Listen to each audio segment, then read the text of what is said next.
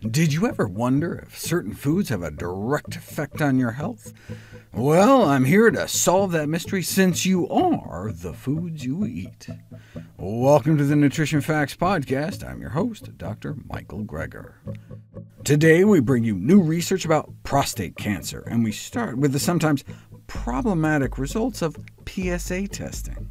While 64% of men develop hidden prostate cancers by their 60s, the lifetime risk of being diagnosed with prostate cancer is only about 11%, and the risk of dying from prostate cancer 2.5% at the average age of 80. So most men develop prostate cancer, but they die with their tumors rather than from their tumors. Most men with prostate cancer live their whole lives never knowing they even had it. That's one of the problems screening for it. Many prostate cancers that are detected may never have led to harm even if they'd gone undiscovered. Nonetheless, uh, not all men are so lucky. About 30,000 Americans die each year from prostate cancer. So, should you get a PSA prostate screening test or not? PSA stands for prostate-specific antigen, an enzyme secreted by cells of the prostate uh, to liquefy semen and cervical mucus to facilitate fertilization. Elevated levels in the blood can be a sign of prostate cancer, which led to FDA approval as a screening test for the early detection of prostate cancer in the 1990s. If it comes back high, the test is usually repeated. If it's still high, the next step is typically an ultrasound-guided biopsy of the prostate through the rectum. If there's cancer, then options include surgery, radiation, and chemotherapy, or a delay of treatment. However, the USPSTF, the U.S. Preventive Services Task Force, the main independent scientific panel that sets evidence-based clinical prevention guidelines, recommended against routine PSA screening, as does the American College of Preventive Medicine, the American Academy of Family Physicians, and the vast majority, 85% of professional medical societies in developed countries around the world, opposed. In 2018, though, the USPSTF shifted from a summary judgment against to, quote, the decision about whether to be screened for prostate cancer should be an individual one, unquote, which is more in line with the shared decision-making stance of the American Urological Association, the American College of Physicians, and the American Cancer Society. In other words, men should be informed about the risks and benefits and decide for themselves. However, men who are on the fence and don't express a clear preference in favor of screening should not be screened, according to the latest USPSTF recommendations. More recently, an international panel of experts concluded that clinicians need not feel obligated to systematically bring it up, judging that most men would decide to decline PSA testing given the clear harms and small and uncertain benefits. That, however, is up to you. I'd personally declined, but let's run the numbers. Similar to the 92% of women who didn't know or overestimated the mortality reduction from mammograms by tenfold or more, 89% of men vastly overestimated the benefits of prostate cancer screening or simply had no idea. Most thought 50 prostate cancer deaths could be prevented out of 1,000 men regularly screened, when in reality it's more like one.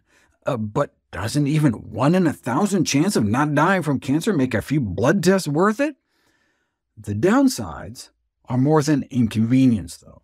About one in seven men who undergo PSA screening will test positive, yet in two-thirds of the cases the biopsy results will be normal.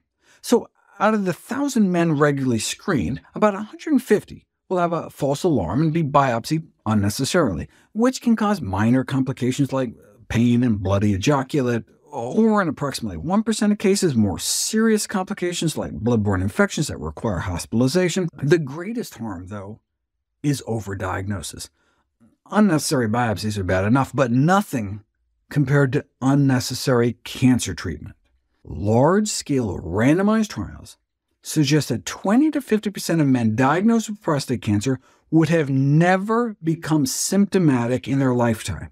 They never would have been any wiser had they not been screened, but now they may be needlessly heading to the operating table. About 300,000 men die during or soon after radical prostatectomy. That may help explain why there appears to be no overall mortality benefit to prostate cancer screening. For every life that's saved, another may be extinguished for a cancer they never would have even known about. Another 50 in 1,000 men end up with serious surgical complications. Even if the surgery goes smoothly, about 1 in 5 men develop long-term urinary incontinence, requiring the use of pads, and most men, 2 out of 3, will experience long-term erectile dysfunction. Most men who receive radiation therapy also experience long-term sexual erectile dysfunction. Up to 1 in 6 experience long-term bowel issues such as fecal incontinence. If this was saving your life, it would be worth it. But over 16 years, rather than being saved from a prostate cancer death by screening, it may be 25 times more likely that you were instead overdiagnosed with a cancer that wouldn't have bothered you. Yet you come away after treatment thinking the PSA test saved your life. It's like with the mammograms. The people who are harmed the most, unnecessary cancer treatment, feel as though they've been helped the most. In our next story, we look at a novel approach to help men change their diet after a prostate cancer diagnosis. A cancer diagnosis is seen as a teachable moment in medicine where we can try to get people to eat healthier. But research suggests that male cancer patients in particular may be reluctant to introduce dietary modification. This has been attributed to dietary changes often being viewed as mimicking feminine eating behaviors, such as emphasizing an increase in fruits and vegetables. Although healthy eating might enhance long-term survival, few men with prostate cancer make dietary changes to advance their well-being. Many of the cancer survival trials, for example, require adherence to strict plant-based diets, and though researchers tried providing you know, extensive nutrition education and counseling programs, dietary adherence was still a challenge. The way Dean Ornish was apparently able to reverse the progression of prostate cancer with a plant-based diet was home-delivering prepared meals to their door, figuring men are so lazy they'll just eat whatever's put in front of them. After all, male culture tends to encourage men to go for convenience food, meat, and beer. Take Men's Health magazine, for example. Included in their list of things men should never apologize for, liking McDonald's, not offering a vegetarian alternative, and laughing at people who eat trail mix. Featured articles with titles like Vegetables are for Girls, and Sections like men and meat, there's only one kind of flesh we like better, and even then, she better know how to grill. To appeal to male sensibilities, doctors are advised to use body as machine metaphors, framing men's health in terms of mechanical objects, such as cars requiring tuning. But if men are so concerned about their masculinity and manhood, maybe we should instead share a bit about what prostate cancer treatment entails. The prostate is situated at the base of the penis, and so when you core it out with a radical prostatectomy, you lose about an inch off your penis if it gets erect at all. Only 16% of men undergoing the procedure will regain their pre-surgery level of erectile functioning. Patients are typically quoted erectile dysfunction rates around 60% or 70%, but studies have generally considered erectile function recovery as just the ability to maintain an erection hard enough for penetration about 50% of the time. So getting it up occasionally is considered recovery. Uh, you know, but when a surgeon tells a patient he will recover function, the patient probably assumes that means the kind of function they had prior to surgery, and that only happens 16% of the time and only 4% of the time in men over 60. Only 1 in 25 get their baseline sexual function back. And it's not just erections, but other problems like OAP, orgasm-associated pain, even years later, and urinary incontinence during foreplay, stimulation, or orgasm. The vast majority of couples overestimate how much function they're going to recover couples reported feeling loss and grief. I mean, having cancer is bad enough without the additional losses. You'd think that would be enough to motivate men to improve their diets, but almost a fourth of men newly diagnosed with prostate cancer state that they would prefer to have their lives cut short rather than living with a diet that prohibits beef and pork. More men would rather be impotent than improve their diet. It appears pleasures of the flesh may sometimes even trump pleasures of the flesh. In our final story today, cranberries and pumpkin seeds are put to the test for benign prostatic hypertrophy. More than 50% of men in their 50s, and 70% or more of men in their 60s, suffer from benign prostatic hypertrophy, or BPH, otherwise known as an enlarged prostate. This can result in burdensome lower urinary tract symptoms, such as having to get up frequently at night to pee. Current medical treatments are clinically effective, but their efficacy is compromised by side effects and low compliance rates. Symptoms include sexual dysfunction, high-grade prostate cancer, and depression. No wonder there's poor compliance. And when medication treatment fails, surgical procedures are considered, such as transurethral resection of the prostate. There has got to be a better way. Population studies suggest that low intake of animal protein and high intake of fruits and vegetables may be protective, but not just cutting down on any animal protein. Eggs and poultry seem to be the worst, along with refined grains, but no association was found for red meat or dairy. Population studies aside, are there any foods that have been put to the test?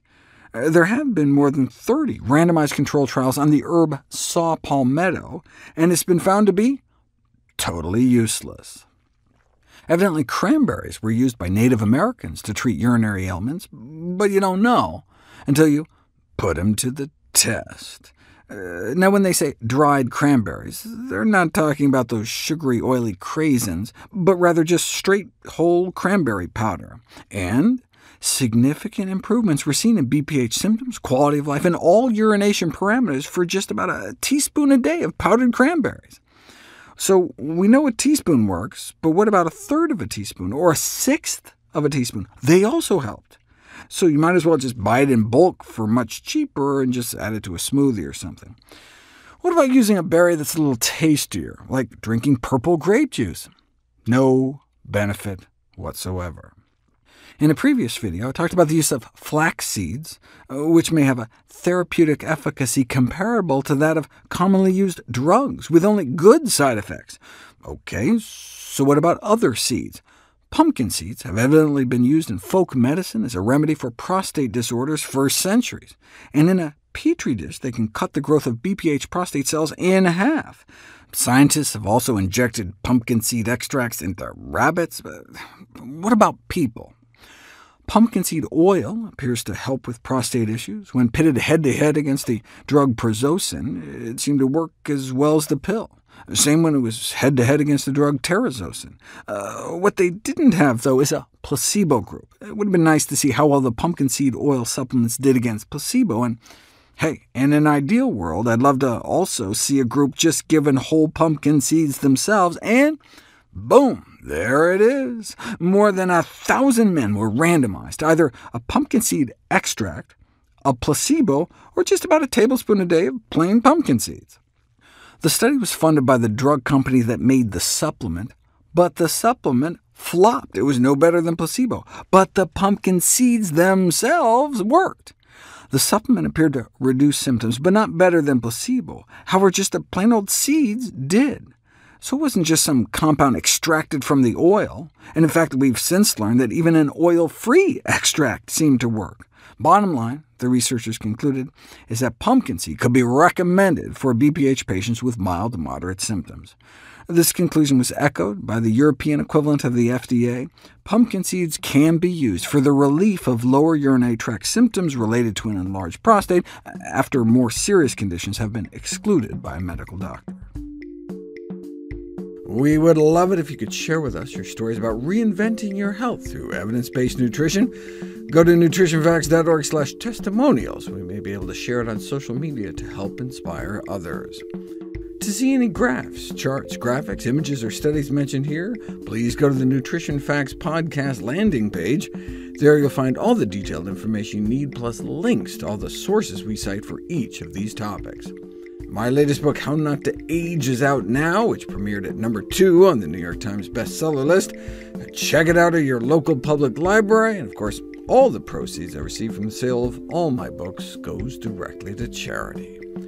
NutritionFacts.org is itself a nonprofit, science-based public service where you can sign up for free daily updates on the latest in nutrition research via bite-sized videos and articles. Everything on the website is free.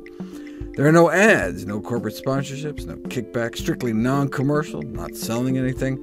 I just put it up as a public service, as a labor of love, as a tribute to my grandmother, whose own life was saved with evidence-based nutrition.